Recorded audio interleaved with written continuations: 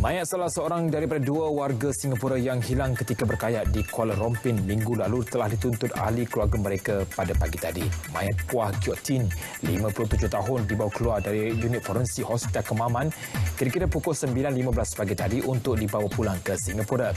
Beberapa ahli keluarga mangsa terdekat menunggu sejak awal pagi di hospital berkenaan selain mengurus beberapa dokumen penting sebelum mayat dibawa balik.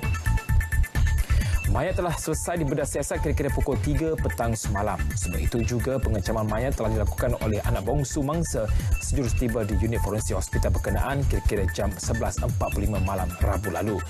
Mayat puan ditemui pada kira-kira pukul 12.30 hari Rabu lalu terapung kira-kira 5.4 batu natika dari pantai Kuala Kemaman oleh nelayan tempatan selepas dilaporkan hilang pada Kamis minggu lalu.